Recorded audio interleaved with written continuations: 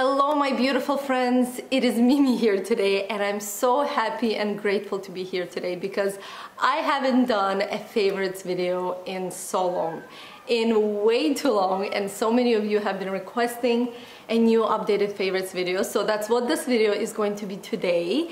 And also I wanted to say if you'd like for me to do monthly favorites again like I used to then definitely make sure to like this video down below and share this video if you enjoy watching it. So today I have incredible amount. Okay not too many probably about eight items that I want to share with you. But all of the favorites that I will share with you are things that I use on daily basis. So very practical. Some of them are life-changing and for that reason I couldn't wait to make this video. In fact I wanted to let you guys know when I don't do a sit-down video for a long time I always talk to you guys in my head like all the time and I think okay I'm gonna say this and I'm gonna say that and I'm gonna film this. So I'm really excited. I'm planning to film a few sit-down videos for you guys in the next few weeks. So if you're looking forward to those then stay tuned. But today it is going to be a favorite favorites videos. So just current favorites, things that I have been using for the last few months that I really love, enjoy, and believe are worth to be shared in the favorites. So I'm gonna start now because I can make this video really really long if I just talk about how much I missed you guys because I have. Let's get started. So the first favorite I'm gonna share with you today is definitely the most important favorite of this whole video and I've been so excited to share this book with you. It's a book that I read, I think it was the end of May, beginning of June. That's when I was listening to it. As you guys know, I love Audible. I don't really have time right now in my life to just sit down and read a physical book. So I consume all of my books through Audible app or I listen to podcasts. So yeah, going back to the book of the favorites, it is called Letting Go by Dr. David Hawkins. I've recommended this book to a lot of you guys who like private message me and ask me certain questions. I'm like, read this book. But I couldn't wait to just sit down and tell you a little bit about it. I don't want to make this whole video a review on this book, but I definitely could if I wanted to. But I just want to say to you guys, and you guys know I read a lot of books, this is in the top three most important books I have ever read in my life. Just to emphasize the importance of this book and how much it has helped me as a human being to be happier and healthier internally, externally. This is a book that was actually recommended to me by my sister Layla. Thank you Layla, I really appreciate it. I've noticed a lot of changes in Layla. She's become, she's always been very positive, but she's become even more positive. Just even her language, the way she talks about her present and future, it was just different. I've noticed a big difference in her. Then we started talking, and just talking about books that we've been listening at the time, and she said that she really wants me to listen to this book, which is called The Letting Go. Of course, I trust her opinion, and I listened to it like within the first few days of when she told me, when she recommended the book, and it was like, oh my god, this is exactly what I was looking for. The reason I really love this book, and I already made the introduction so long, but I'm just so excited. So, okay, I'm not gonna make the rest of it short. Why you need to listen to this book. This book talks about how to let go of lot of suffering so you can be happier, healthier, more upbeat, more positive. And when you are more positive and when you're more upbeat, guess what? You attract more of that into your life.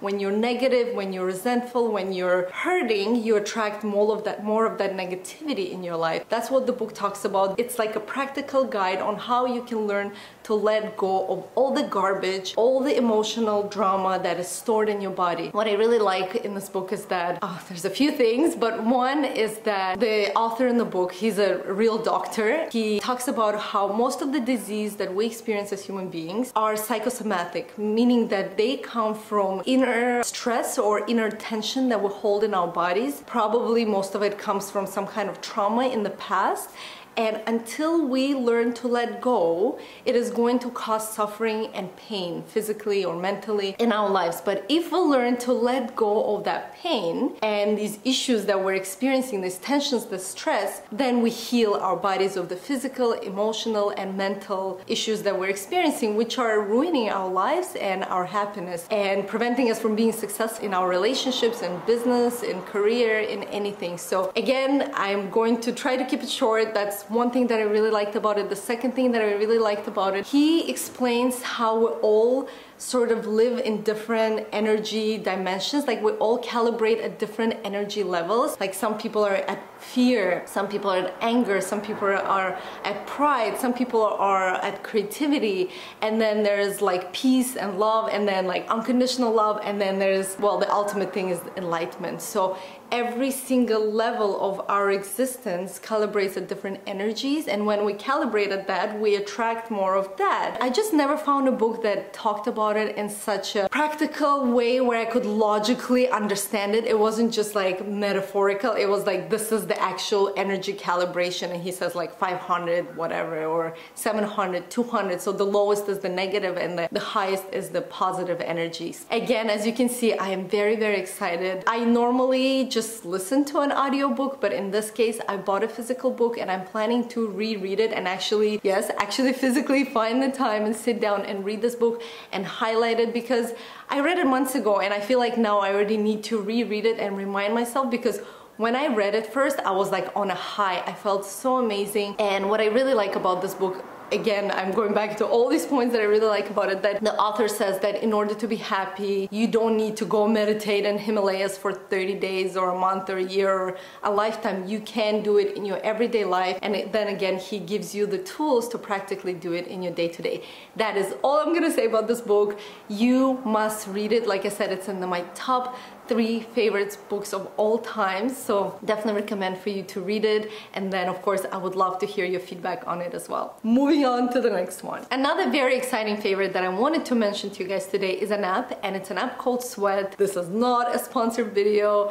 I'm paying for this app every single month. So Sweat is a workout app and as you guys know I love to work out. I don't do it all the time consistently but I try to be regular with my workouts. When I say regular, two to three times a week. I did have a trainer before. I do recommend having a trainer. If you've never worked out, I think it's great. I'm planning to actually do a video on my ideas, philosophy about workout and healthy eating. If you guys like to see that video, let me know down below. But I'm just gonna keep this about the app. So I used to have a trainer before. I do believe that was very important at the time where I just gave birth to Alexa and I wanted to get back in shape. But then a lot lot of the trainers have schedules and my schedule is busy. Most of my time is either Alexa work and then trying to like manage other things in my life. I just realized I want to work out on my time, which is like early in the morning when I first wake up.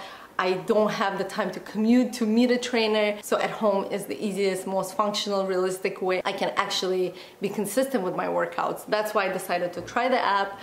I've heard a lot about it. I follow the founder on Instagram. I think her name is Kayla. So I really like what she's doing. I wanted to give this app a try, even though it is quite expensive. I believe it's about $19.99 a month, but I did want to give it a shot because if you pay a trainer, you're paying anywhere from 45 to 100 an hour. And if you have this app, you can basically use it unlimited for a month. So I will say I definitely, definitely love it. I saw results almost similar to when I had a trainer. Again, it's easier for me because a lot of the workouts workouts in the app I find that are things that I've already done so I already know how to do them but it's almost like a little bit of accountability. The app shows you how to do everything. It sort of gives you your workout plan and every workout is slightly different and then it gets more advanced. It's like having a virtual trainer, the best you can get with a computer or a phone anyways. It's still better to have a physical person if you can afford with your time and money but I think if you don't have the time or the money to go out and have a trainer this this is as close as you can get to a trainer. So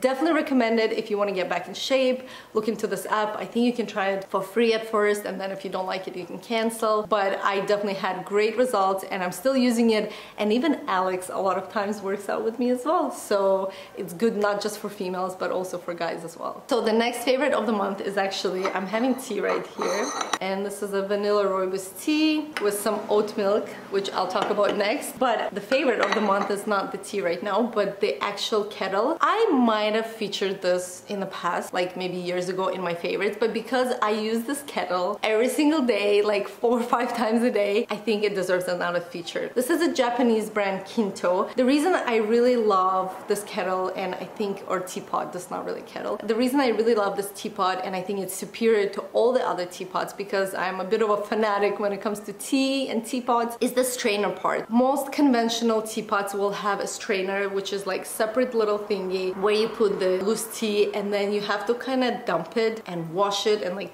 take the tea part things out. Whereas here, it's really clever how they did it. So the, the strainer mesh thing is actually attached to the cover at the top. So you can just drop everything down when you put in the loose tea, you can just drop it down and then it strains it as you pour in the tea, which I think is a brilliant design. That's why I love this teapot so much. We have different sizes. This is a medium size, we have a small one and we had a big one I think that we broke and we need to get another one because I really love the bigger size as well well when you have people over and you want to serve um, a lot more tea than this. But I literally, guys, use this every single day to make ginger lemon tea, everything. It's just easier to clean, I find. I just pour, when I clean it, I just pour a little water and then I just dump it out, which makes it so much easier, I guess, than the other mesh strainers. Amazing, amazing design and love this so, so much. On that note, I'm gonna share something else that I love adding to my tea. I have literally been obsessed by oat milk for the last more like four or five months I think. Well, I discovered oat milk a while ago, maybe a year ago and I tried it and I was like, mm, I'm not really sure and I think I tried a different brand and then I tried this brand. So this is an Oatly brand. I have two in my hand and this one is just an original which means there's literally just oats and water, nothing else. And then they have a barista one. Okay, I think I remember now when I got really addicted to it. I ordered a cappuccino at, at a restaurant and then they brought it to me. I, they told me that they don't have almond milk, but they have oat milk. So I said, fine, I'll try it. And then when they brought me that cappuccino, it tasted incredible. I couldn't believe it because the cappuccino with almond milk is like 7 out of 10. It's never like 10 out of 10. I mean, I've never had one that was 10. With this one, it literally, to me, it tastes better than dairy by far. This is the barista edition though, so by the same brand, but this is the barista one. The ingredients are slightly different. So I usually give this one to Alexa or drink it myself. I usually add it to teas or I make hot chocolate with it. This one I just add a little bit to either my chicory. I use like a powdered chicory to make a coffee. It's kind of like a coffee or I steep a vanilla rooibos tea. That's what I have here right now in my teapot. And I add just a little bit of this. All you need is a little bit. So this one has water, oats.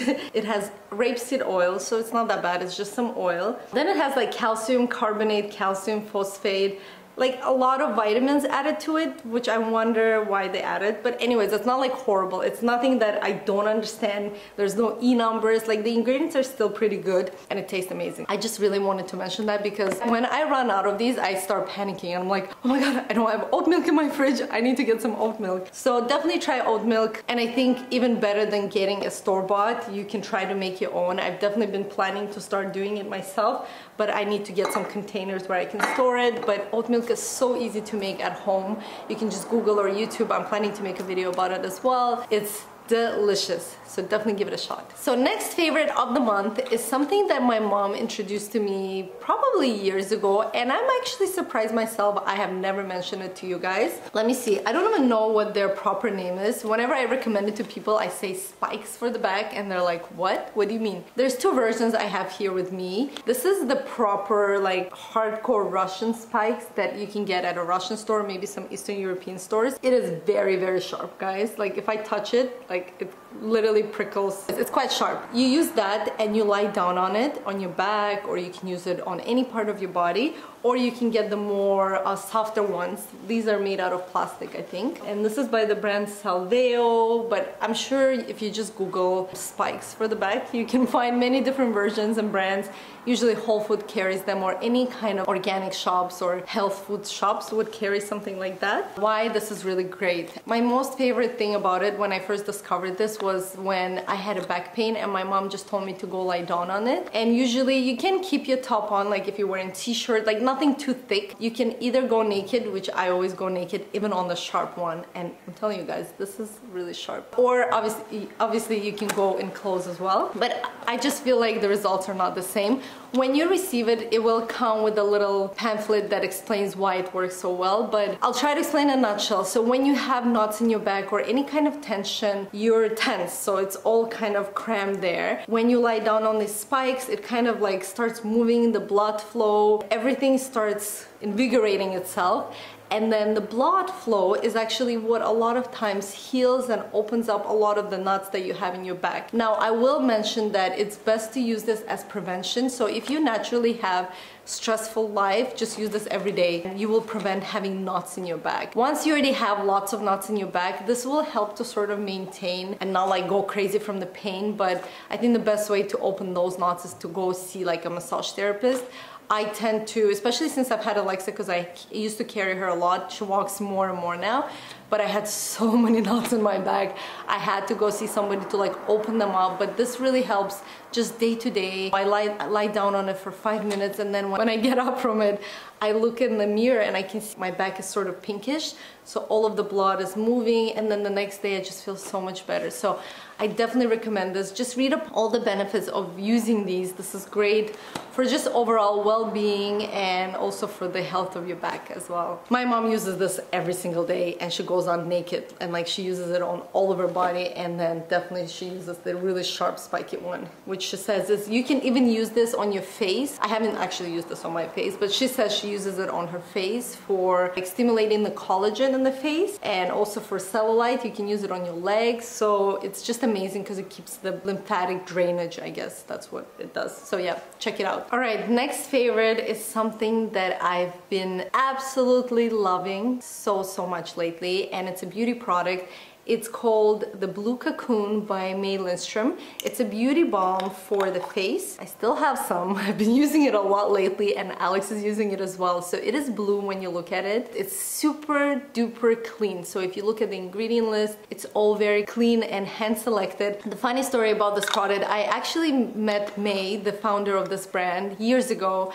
at an event and I've loved what she does and I've looked into all her products but I never really got them because we live in the UK and I wasn't sure if they ship here or if they sell them anywhere here. And then recently May was here in London and she messaged me she wanted to meet up so we had dinner and she brought this to me. But the funny story is I've been actually suffering with some eczema on my eczema eczema I'm not sure if I'm saying it right it doesn't really matter but I'm sure you guys understand. So basically I had some flaky white skin on my knees and a little bit at the bottom of my feet as well. And I even had to go see a dermatologist and he told me, yes, this is eczema and you have to use the steroid cream and it's caused by stress. And I was like, great. need to know how to manage stress better. I used the cream that he gave me a few times and it didn't do anything and then I just stopped because I just looked at the ingredients and it was just so nasty. It's like a steroid cream. I'm not sure how it can prevent it from happening again. But it didn't even do anything. Like I literally used it for maybe three, four days, didn't see anything. And then May was in town and she gave me the blue cocoon. And I've heard about the blue cocoon. I wanted to try it for so long.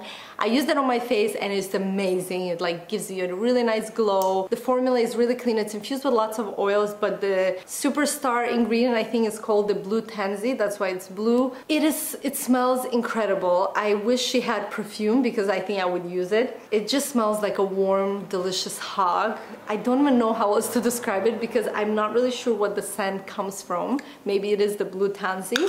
When I talked to May and I told her about my eczema, she said, well, that's why she created this product because she used to suffer with irritated, flaky skin and she had a lot of issues with skin, period. That's why she created her brand. This really helps. So she said, just use it on your knees. You'll see it's gonna help. And I used it on my knees. Even the first time I used it, I used it in the evening before I went to sleep.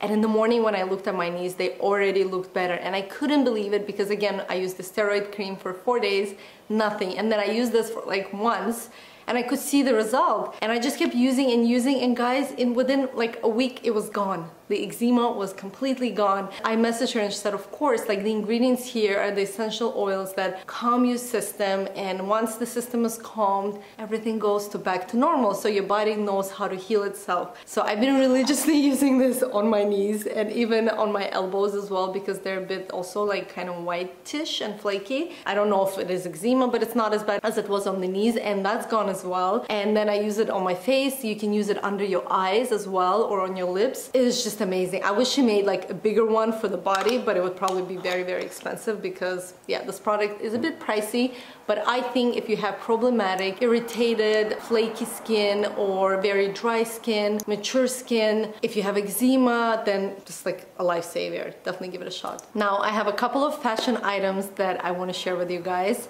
First is this lovely beige romantic blouse from Anthropologie. When I saw this top, I just instantly fell in love because I know this is something that I will wear dozens and dozens and dozens of times. The reason to that is A, it's very romantic. I love ruffles, I love romantic shapes. B, the actual fabric is something that you don't have to iron. It just makes it easy to wear when you don't have time to iron your clothes or when you're traveling, it's easy to pack, it's light, again, doesn't wrinkle, but also the actual design. So it has really nice flared sleeves makes it even more romantic. And the bottom is sort of flared as well. And it's just a really lovely top that you can pair with jeans or you can kind of uh, wear with a nice pencil skirt something high-waisted. It will just look lovely under a blazer or on its own. I just love love love it. So I wanted to share it with you guys. Next I have this beautiful corduroy uh, pink blazer that I got from Mango actually. I haven't bought anything in Mango in years. And I was there recently and I was like oh actually there's a few cute things. And this one is really, really really pretty. I really love it because it is sort of oversized and it's a bit long. You'll see it. So it's almost like it's a bit of a trench coat. So when it's not too cold you can wear it instead of a trench coat over a dress over any kind of outfit pants jeans with a t-shirt with a little light sweater underneath. It is so pretty. It's in the perfect cool pink shade, like a dusty rose kind of shade.